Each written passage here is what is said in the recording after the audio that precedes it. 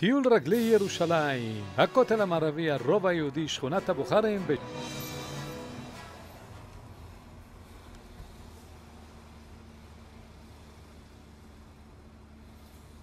ברוכים הבאים, אנחנו בירושלים.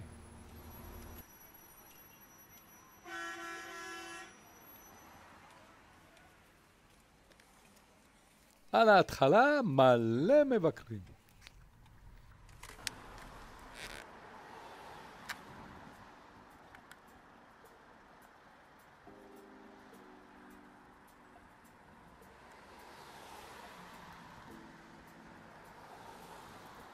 תחנה הראשונה, נחל קדרון, יד אבשלום.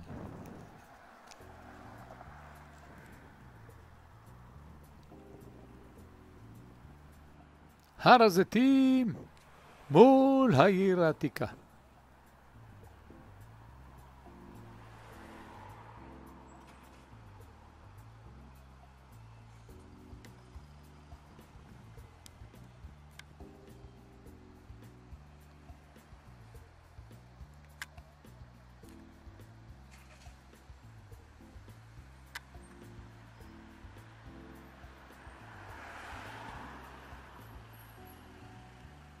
החומה הדרומית, ואנחנו נמצאים בפינה הדרומית-מזרחית של הר הבית.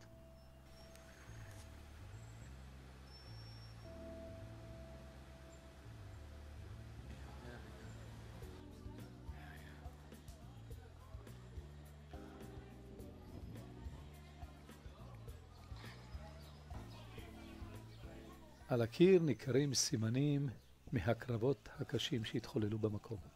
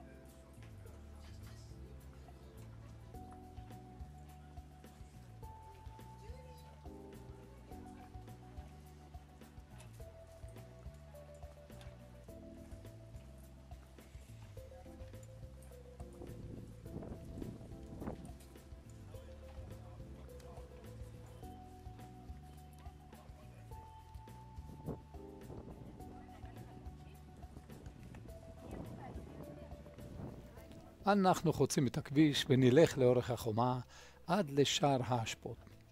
שער האשפות קיבל את השם שלו בתקופה הביזנטית, בה היו שופכים את הפסולת לאורך הכותל המערבי למנוע את כניסתם של היהודים למקומות הקדושים.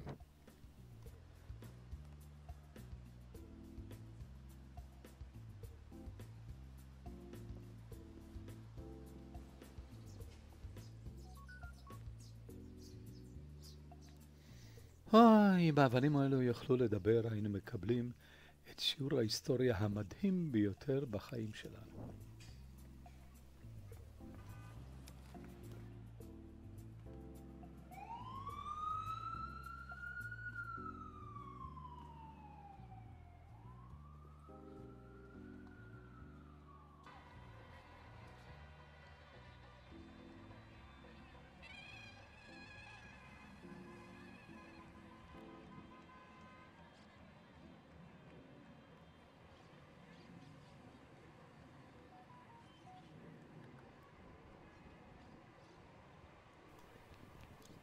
תצפית על הר הזיתים מחומות ירושלים.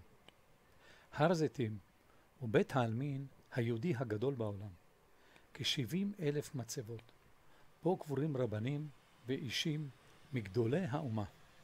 המקום מכובד על ידי כל הדתות.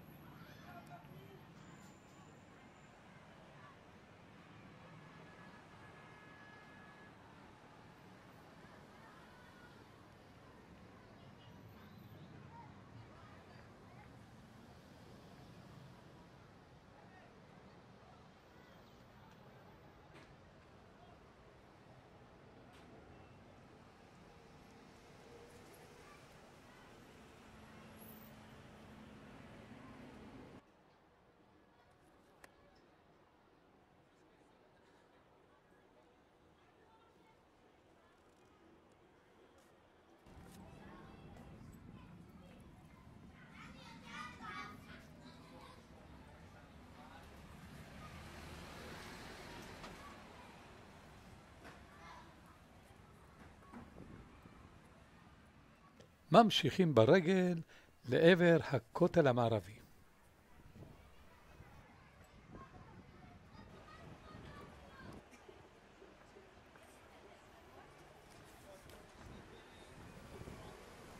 ניתן לעלות בקצה החומה על המדרגות וללכת לאורכה עד הקצה השני.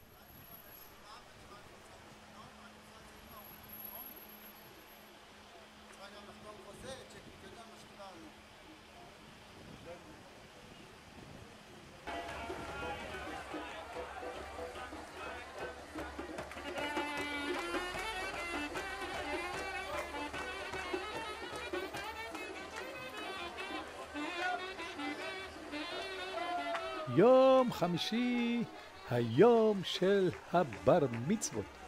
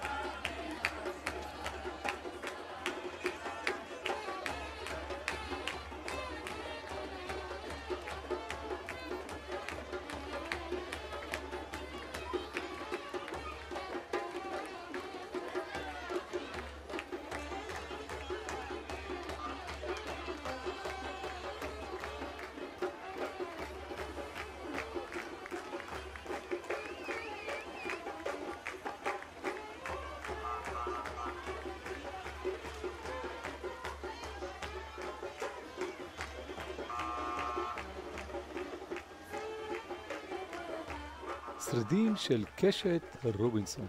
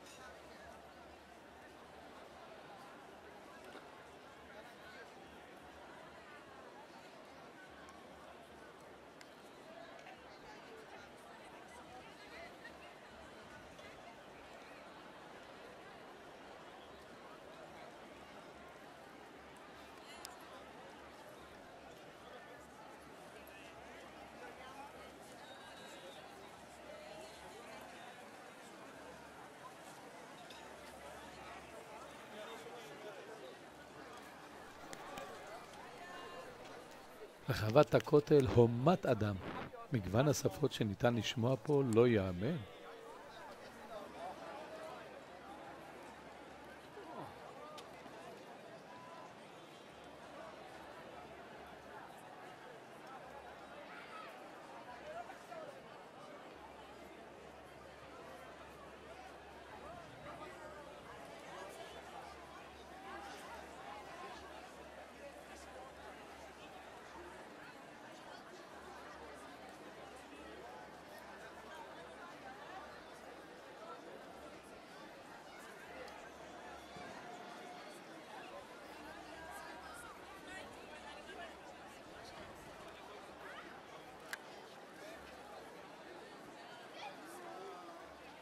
אורך הכותל המערבי הוא בין 488 מטר. גובהו היה 60 מטר. היום ניתן לראות אך ורק 32 מטר.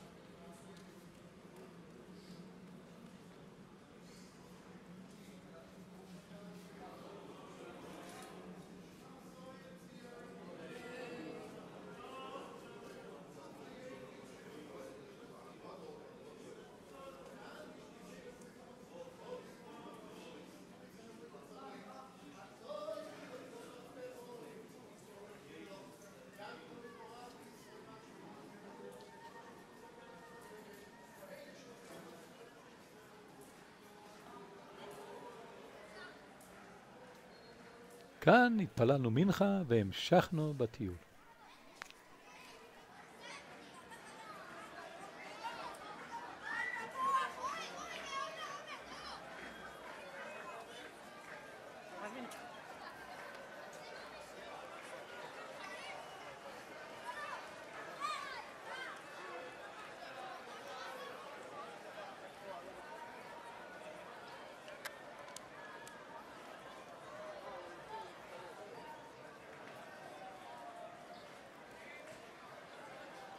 היום חוגגים פה כמה משפחות. עושים מאוד שמח ברחבת הכותל.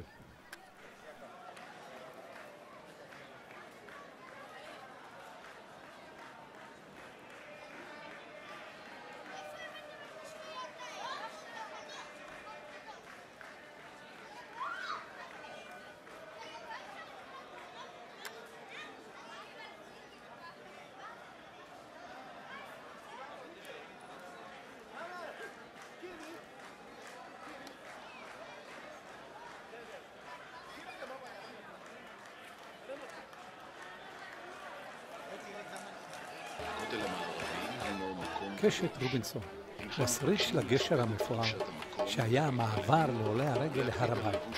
נתגלה על ידי אדוארד רובינסון בסוף המאה ה-18.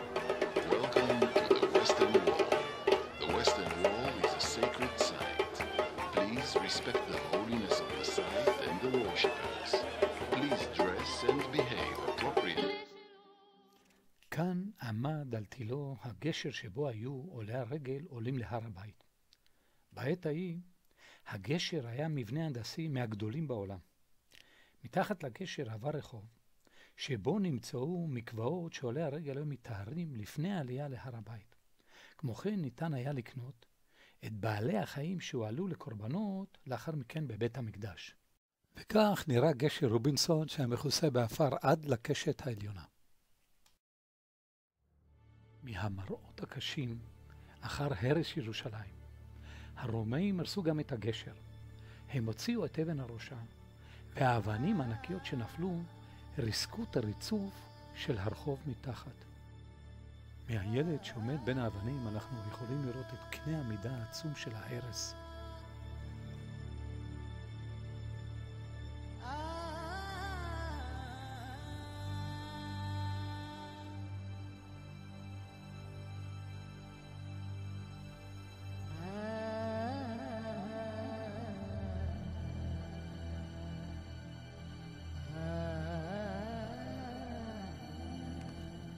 מתחת לפינה הזו נמצא אבן מיוחדת מאוד, ועליה כתוב לבית התקיעה.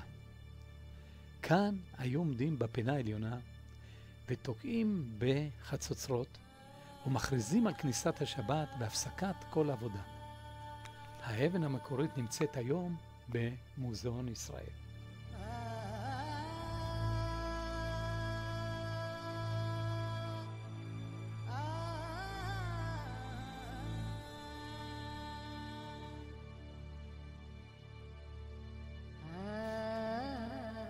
האבנים מעידות על החורבן העצום שנפל בחלקו של העם היהודי, הגלות הארוכה והסבל של תפוצת העם שלנו ברחבי העולם. העצב, היגון והייאוש היה חלק בלתי נפרד מהווי החיים של היהודים בכל העולם. עד לקיבוץ הגלויות וחזרה של העם היהודי לארצו ולאדמתו.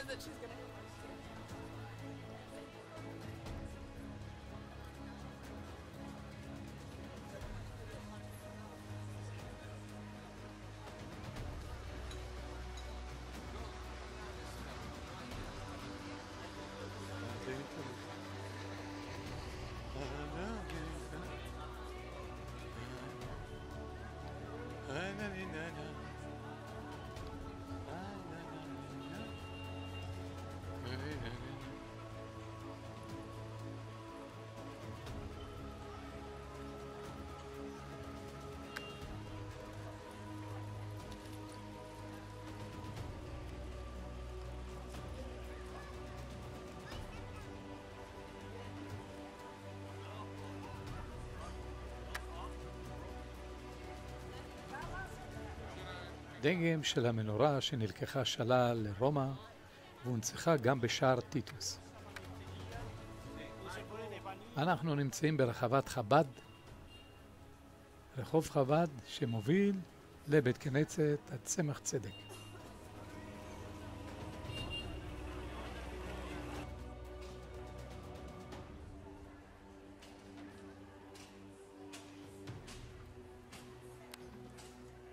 כאן מנסים להטיל מטבעות על ראש הכותרת, ומולנו בית כנסת הצמח צדק על שמו של האדמון השלישי של חב"ד.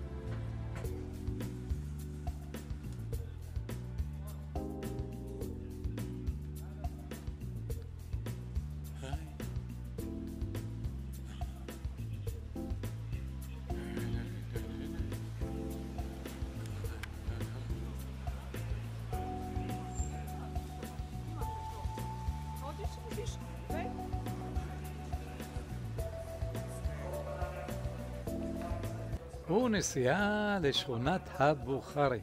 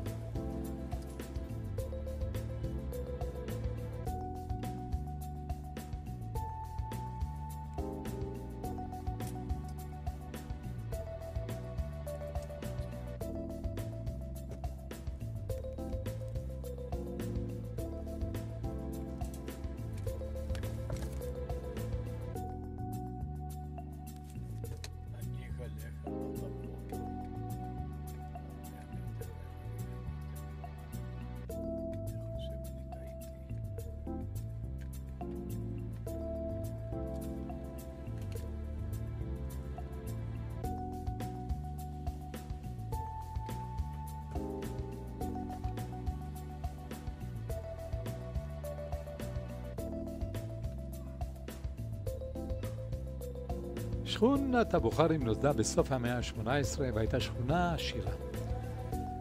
היום מכניסים את השכונה לקהילות שונות של חרדים, הרחובות מטופחים, יפים וצבעונים, תענוג להסתובב בהם שעות על גבי שעות. כל הרחובות מובילים לשוק מחנה יהודה.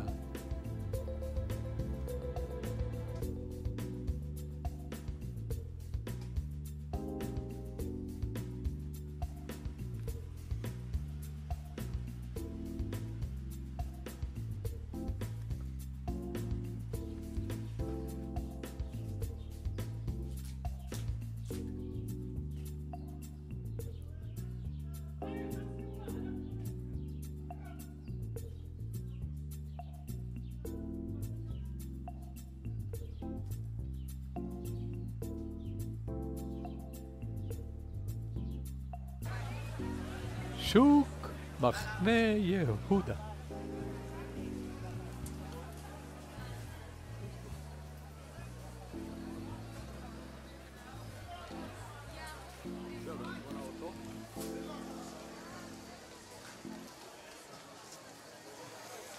אווירה וקולות מהשוק.